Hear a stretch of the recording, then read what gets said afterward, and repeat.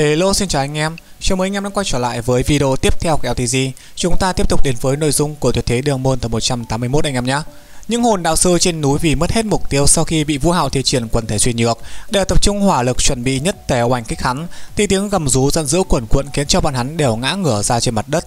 Ngay cả Vũ Hạo, Vương Đồng Quất Tử cũng bị chấn đến choáng váng, hoa mắt ù tai, thân thể lắc lư. Hồn kỹ công kích bằng sóng âm này, lần đầu tiên Vũ Hạo gặp phải, nhất thời không kịp thời trở tay. Trước đó, thiên thần tham trác choán biết hồn lực của Triệu Dương từ mọi nơi ở trong cơ thể điên cuồng vận chuyển lên đầu, thế nhưng không ngờ hắn có chiêu này. Nhân cơ hội đó, Triệu Dương lắc người lao lên, không nhắm phía quất tử nữa mà phóng tới Vũ hào Hắn biết rõ một gã chiến hồn xưa khống chế cường đại ở chiến trường đáng sợ thế nào, muốn bắt quất tử phải giải quyết tên thanh niên hồn tông tứ hoàn cực kỳ cường hãn này trước. Thân là cường giả hồn thánh, nhìn thấy hồn kỹ quần thể suy nhược mạnh mẽ như thế, chỉ thoáng nghĩ một cái thôi đã hiểu. Hẳn là đối phương có thủ đoạn che giấu màu sắc chân thật của hồn hoàn Cũng không quan trọng Dù sao vua Hạo nhìn qua còn rất trẻ Vậy thì chiến lược có cường hãn cũng không thể nào vượt qua được trắng niên hơn 30 tuổi như mình Huống chi hiện tại Triệu Dương căn bản cũng không còn đường lui Mắt thấy đã tới trước mặt của vua Hạo, chảo gấu to lớn vồ tới đỉnh đầu của vua Hạo, Áp phòng tái vào mặt, sức mạnh quá lớn. Lúc mà Triệu Dương phát lực, hai chân găm thẳng vào đá núi, để lại hai dấu chân sâu hoắm. Thế nhưng ngay sau đó, hắn thấy một đôi mắt màu vàng, rồi nhanh chóng chuyển thành tử kim sắc với một tốc độ kinh hoàng. Triệu Dương không hổ là cường giả hồn thánh chân chính, cảm giác cực kỳ bén nhạy, nhìn thấy hai tròng mắt tử kim lạnh băng của Vũ Hạo, hắn đã biết công kích sóng âm uy mãnh trước đó của mình không làm cho tên thanh niên này choáng váng quá lâu, một cảm giác nguy hiểm mãnh liệt xuất hiện, không hề do dự phóng ra một hồn kỹ cực mạnh, hồn hoàn thứ bảy đen tuyền thâm thúy long lánh, đúng lung linh hồn trùng kích xung hợp từ cực ma động từ hai mắt của Vũ Hạo tấn công, thân thể của Triệu Dương lại càng trở nên to lớn, cao hơn 5 mét, lông lá bao phủ toàn thân, ngoài trừ gương mặt còn có nét giống con người, còn lại thân thể tay chấn hoàn toàn trở thành một đầu cự hùng khổng lồ. Đúng vậy, đó chính là thay đổi chất lượng khi mà hồn sư có được thất hoàn, cũng là ranh giới phân biệt hồn sư trung cấp và hồn sư cao cấp, chính là vuông chân thân. Một hồn sư sau khi tu vi đột phá cấp 70, bất kể là thu được hồn hoàn gì, đều sinh ra một sự thay đổi chất lượng, chân chính dung hợp vuồn vào thân thể, thi triển vuồn chân thân. Vuồn chân thân một khi thi triển ra, bản thân sẽ hoàn toàn chuyển hóa thành hình thái của vũ hồn, thực lực khi đó sẽ tăng vọt. Những hồn kỹ sử dụng khi đang trong trạng thái vuồn chân thân, uy lực tăng lên gấp đôi. Cũng vì thế khi mà đạt được hồn thánh rồi, đối thủ là hồn đạo sư trừ phi phải có hồn đạo khí uy lực đặc biệt, nếu không sẽ khó mà đứng vững trước hồn sư. Linh hồn trùng kích bị trạng thái vuông chân thân bộc phát của Triệu Dương cản hết phần nửa, hắn chỉ hơi ngả đầu ra sau một chút, trí não thoáng mơ hồ đã trở lại bình thường. Trong trạng thái vuông chân thân, bất kể sức mạnh cơ thể hay là tinh thần lực đều dung hợp với vuông mà tăng cường rất lớn. Có điều, cú tát trước đó của hắn cũng bị ảnh hưởng của linh hồn trùng kích mà vồ vào khoảng không. Vũ Hạo cũng không chiến đấu đơn độc, đôi cánh xinh đẹp màu lam kim mở ra sau lưng của hắn, đập mạnh lên hồi mang hắn lùi về phía sau, né được công kích của Triệu Dương. Vũ Hạo lạnh lùng điềm tĩnh, đây là lần đầu tiên hắn đối mặt với cường giả hồn thánh, cũng là lần đầu tiên đối chiến vuông chân thân trong một tình huống sống còn trên chiến trường, trong lòng không có một chút nào lo lắng, ngược lại tràn ngập phấn khích. Khắc khổ tu luyện chính là không ngừng khiêu chiến cực hạn bản thân, khiêu chiến cường giả. Nếu chỉ có một mình với tu vi tứ hoàn trước mắt, cho dù vuông song sinh cường đại, kết quả hồn đạo khí, hắn cũng không thể nào là lấy thủ của hồn thánh thất hoàn. Thế nhưng chữ nếu đó lại không xảy ra, hắn có vương đồng bên cạnh. Vũ Hạo lớn tiếng quát, mọi người tản ra, quất tử lui. Kim quang trong mắt đại thính, hai cánh tay từ sau lưng mạnh mẽ siết chặt, vòng qua thắt lưng, lại một màn trình diễn rung động trên chiến trường. Đôi cánh lam kim khép lại, ánh kim quang sáng sực từ vào lại phát ra, chính là hoàng kim lộ. Lam tử kim ánh sáng ba màu phát động rực rỡ, cực kỳ chính xác bắn về phía Triệu Dương đang xông tới. Có tinh thần tham chắc dự đoán tình huống, cường giả hồn thánh cũng đừng mong né tránh công kích này. Hoàng kim lộ có uy lực khủng bố không phải là lực công kích mà là phong ấn năng lực hồn kỹ. Ngươi xài vuông chân thân ư? Ta đây sẽ phong ấn vuông chân thân của ngươi để xem không còn vuông chân thân, hồn thánh sẽ còn cái uy lực gì. Kim quang lan tỏa toàn thân của Triệu Dương, cơ thể đắm chìm trong hoàng kim lộ, một cảm giác cháy bỏng kịch liệt truyền ra khắp người. Hôm trước Vũ Hạo và Vương Đông liên thủ đối phó với kiếm si Quý Tuyệt Trần và Kinh Tử Yên, Hoàng Kim Lộ vẫn chưa thể hiện toàn bộ uy lực vốn có của nó, vốn chỉ đơn thuần là luận bàn mà thôi. Có lúc này, Triệu Dương là kẻ đầu tiên ăn đầy đủ một chiêu Hoàng Kim Lộ toàn lực sau khi thực lực của hai người đại tăng. Trong phút chốc một màn kinh người đã hiện ra. Triệu Dương vốn đang lao tới trước chợt khựng lại. Bộ lông gấu vốn chân thân trên người nhanh chóng tàn ra dưới ánh mắt thường. Kim quang trên cơ thể càng lúc càng sáng. Vũ Hào thở hổn hển, vừa trải qua một loạt tình huống chiến đấu, bản thân tiêu hào cũng thật lớn, thế nhưng lúc này căn bản không có thể nghỉ ngơi. Một khi Triệu Dương bộc phát ra năng lực vun chân thân, mọi người ở trên đỉnh núi này e khó tránh khỏi sinh linh đồ thám. Vương Đông, giao cho ta. Ừ, Hoàng Kim Lộ vừa thi triển xong, hai thân ảnh vừa hiện ra liền đổi vị trí. Vũ Hảo lắc người qua sau, tay vẫn nắm chặt tay của Vương Đông, giơ lên trên cao để hắn xoay một vòng như điệu múa con thiên nga gãy cánh vậy. Vương Đông lập tức đổi vị trí ra trước ngực của vua Hào, hào quang trên cơ thể hai người phát sáng, hàng vạn hàng nghìn hào quang bùng nổ từ hai người phun ảo ạt ra ngoài, quang mang mãnh liệt khiến người khác không khỏi nhíu mắt. Thời gian dường như cũng nháy mắt ngừng đóng. Ngay sau đó, hai cánh lam kim rực rỡ kia bất chợt tăng trưởng, đôi cánh phóng to lên gấp đôi. Bốn đôi cánh bướm chỉ có hai cánh trên và hai cánh dưới. Thế nhưng lúc này lại mọc thêm một đôi cánh nhỏ màu ngọc bích trong suốt rực rỡ, xinh đẹp ướt át, khí tương sinh mệnh tỏa ra, cánh bướm xinh đẹp vươn ra, ba màu lam kim lục thấm đầy rực rỡ sáng chói, trên cánh như là có những bọt nước nhẹ nhàng lăn tăn lóng lánh, ánh xa quang mang ra xung quanh, hàng vạn hàng nghìn sáng chói lóng lánh, khí tức tinh khiết lan đến dưới chân kia, một bóng hình thon thả cao quý xuất hiện. Tầng trong suốt lặng lẽ khuếch tán, khung cảnh xung quanh bị bao bọc bởi thế giới băng tinh, hàn ý lạnh lẽo lan ra, bàn thể Vũ Hạo và Vương Đông dung hợp biến hóa khiến cho mọi người xung quanh rung động mãnh liệt.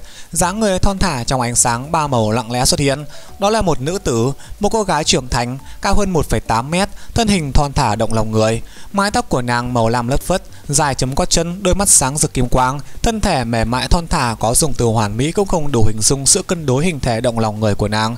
Tuyệt sắc kiểu nhan khiến những nữ nhân ở trên chiến trường cũng phải hòa dùng thất sắc. Mỗi một sợi tóc lóng lánh, mỗi đường cong trên cơ thể đều hoàn mỹ phù hợp, không ai có thể miêu tả được cảm giác lần đầu tiên nhìn thấy nàng, bất kể nam hay nữ, ánh mắt đều bị nàng đoạt đi mất. Ngay sau đó nàng cử động, chân bước nhẹ nhàng từng bước quý phái, thân thể thon thả mềm mại đã đến lưng trường không, ba cặp cánh bướm nhẹ nhàng bắt đầu một điệu múa. Sương băng từ dưới chân của nàng lan ra tu thành từng đám nhỏ xoay quanh của nàng xoáy lên trên cao. Ở trên bầu trời, ánh nắng từ trên cao giáng xuống chiếu thẳng lên người của nàng. Vâng kim quang tô điểm thêm vẻ rực rỡ tuyệt sắc khuynh thành, khiến nàng như là hiện thân của nữ thần quang minh tái sinh. Nàng lơ lửng ở giữa không chỉ là có múa, mỗi một bước ở trong điệu múa đều mềm mại nhẹ nhàng, dung nhan lộng lấy động lòng người tràn ngập khí thức sinh mệnh và hy vọng. Sáu phiến cánh sau lưng chính là trang sức tuyệt mỹ nhất, chim đắm trong kim quang ấm áp, tung những bước nhảy múa tuyệt vời chính là quang ngây thường. Mỹ nhân khuynh thành tuyệt sắc thiên hạ đối mặt với bản thể bạo kim hùng khủng bố, ngay trong sương băng bao phủ nhàn nhạt, nhạt, cánh vướm ba màu phe phẩy khiến cho khí chất cao quý càng thêm rực rỡ. Ở trên trán, một hoa văn kỳ dị vàng rực lặng lẽ xuất hiện, thế nhưng điệu múa của nàng càng lúc càng nhanh, khó ai có thể nhìn thấy. Kim văn máy động hào quang tỏa ra ánh sáng nhu hòa, nồng đậm tinh thần dao động, mang nàng tiến vào một trạng thái thần kỳ. Đúng vậy, đây chính là một trong tứ đại vua dung hợp kỹ của vua Ảo và Phương Đông, Quang Ngây Thượng. Quang Ngây Thượng hóa thành nữ tử, so với năm đó ở đấu hồn đại tái vua Hạo và Vương Đông thi triển ra ở trong trận đấu cuối cùng là giống như đúc.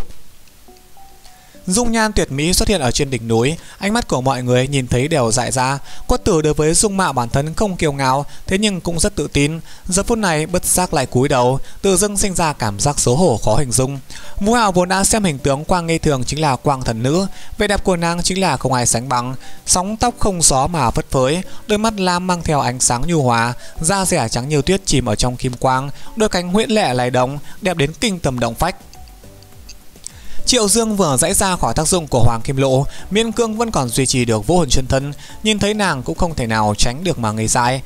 Nếu hồn lực đầy đủ, trước đó không dùng vận mệnh nhãn thi triển quá nhiều kỹ năng, có lẽ khi mà Triệu Dương bị Hoàng Kim Lộ đánh trúng, Vũ hào có lựa chọn tốt nhất hẳn là thi triển ra Thiên Đế Trùy. Thế nhưng lúc này hắn tiêu hao tinh thần lực quá lớn, khó có thể chủ trì vuôn dung hợp kỹ được nữa, do đó chỉ có thể nhờ Vương Đông chủ đạo.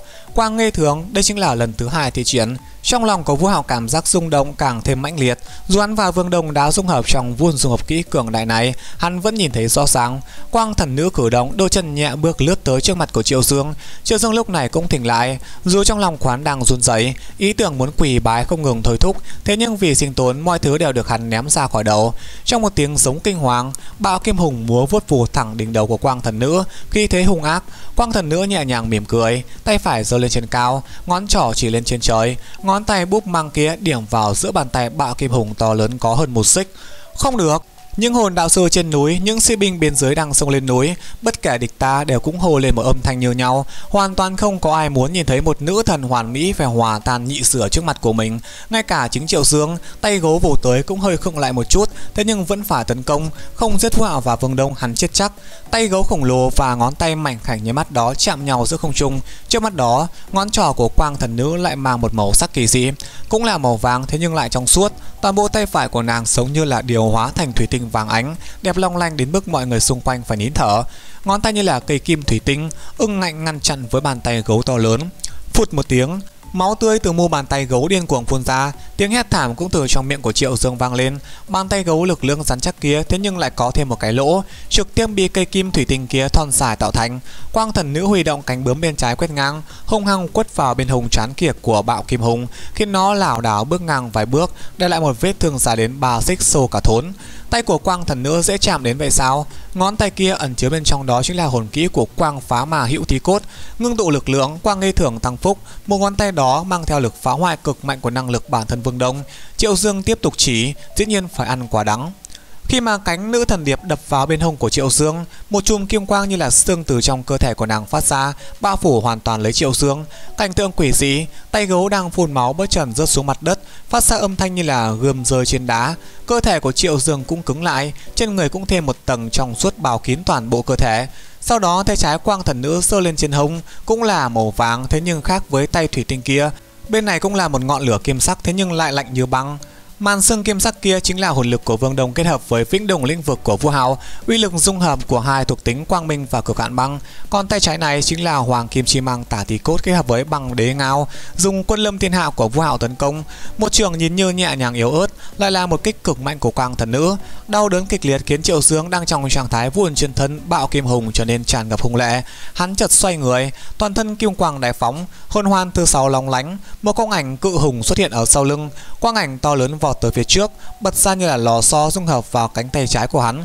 Cánh tay trái vốn to lớn hùng trắng lại to lên gấp đôi, bộ lông trên da hóa thành màu ánh kim.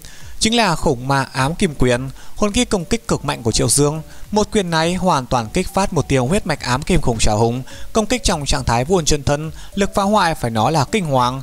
Hoàng Kim Diễm lúc này đang bốc cháy hừng hực, khí chân quang thần nữ lại biến hóa, quân lâm thiên hạ khiến khí tương thần thánh của nàng càng thêm tôn quý cao thượng, như là nữ vương trên cao nhìn xuống trần gian, thân thể của nàng đột nhiên trở nên hư ảo, chỉ còn lại Hoàng Kim Diễm thiêu đốt sặc sỡ lóa mắt.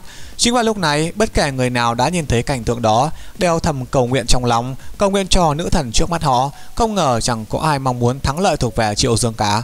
Bùm một tiếng, Trước lúc hai bên va chạm, tay trái của Triệu Dương đột ngột nổ tung tóe máu đầy trời, đau đớn kinh hoàng khiến uy thế của khủng ma ám kim quyền giảm xuống rõ rệt. Tay phải hắn bị đục một lỗ to như thế, sao lại có thể không chịu ảnh hưởng khí tức cực hạn băng rốt vào đây? Vừa nãy còn chúng phải vĩnh đồng lĩnh vực, đóng băng càng thêm chắc chắn. Nhìn qua Triệu Dương nhờ vào vun chân thân mà kháng cự vĩnh đồng lĩnh vực, thế nhưng thực tế máu vận chuyển trong cơ thể đã chậm lại 1 phần 3, động tác cũng chậm chạp hơn không ít, vết thương trên tay phải cũng bị đóng băng rất nhiều. Chỉ cần là băng sẽ bị băng bạo kích nổ. Dù băng bạo chưa kịp kết hợp với hồn lực của Triệu Dương, thế nhưng bàn tay của mình đột nhiên nổ tung, đau đớn thống khổ rất là kịch liệt, ảnh hưởng chiến lược rất lớn. Âm một tiếng, khủng ma ám kim quyền rốt cuồng đá va chạm với hoàng kim chi mang tả trường của quang thần nữ. Quang thần nữ giống như diều đứt dây bay ngược ra, thân thể trên không trung hào quang ảm đạm, đột ngột lóe ra, tách ra thành vũ hạo và vương đông rơi xuống. Máu tươi cuồng phun loạn, hiển nhiên là bị thương không nhẹ. Khi hai người sắp chạm đất, vũ hạo chụp lấy vương đông kéo vào ngực, ôm chặt, biến bản thân trở thành đệm thịt cho hắn. Cả hai chạm đất kéo lên một đoạn mười mấy mét mới ngừng lại, đau đớn dữ dội lan ra toàn thân, đôi mắt tối sầm vũ hạo ngất lịm. Bạo Kim Hùng vừa mãnh liệt công kích hai người, lại lẳng lặng đứng yên ở đó, Hoàng Kim Diễm từ tốn chậm rãi từ cánh tay phải quán lan ra toàn thân. Khi mà thân thể khổng lồ bị hoàng kim diễm hoàn toàn bao trùm, trên đỉnh núi như là xuất hiện một mặt trời vàng rực, hào quang sáng chói chiếu khắp nơi. Mọi người bất giác phản xạ nhắm mắt, mờ mịt không biết đã xảy ra việc gì.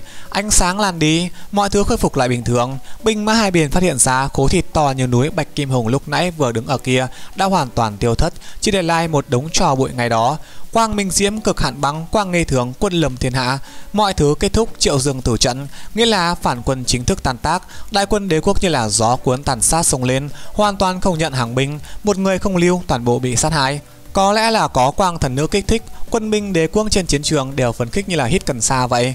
Nguyên soái cho bọn họ biết, Thái tử phi bị vây hãm trên núi, phải dốc sức chiến đấu cứu bằng được Thái tử phi. Ngay khi tới nơi, họ lại được chứng kiến một trận mỹ nhân đại chiến dã thú vô cùng rung động. Hơn nữa chiến thắng cuối cùng lại thuộc về quang thần nữ. Không phải tất cả binh lính trong đại quân đều biết mặt của quốc tử. Trong mắt họ lúc này, quang thần nữ kia chính là Thái tử phi. Vì Thái tử phi mà chiến đấu bỗng nhiên trở thành động lực mạnh mẽ khiến sĩ khí tăng cao ngút trời. Vũ Hào không ngờ, hắn và Vương Đông thi triển quang nghề thường, lại trở thành nguồn cổ vũ sĩ khí mạnh mẽ cho binh lính.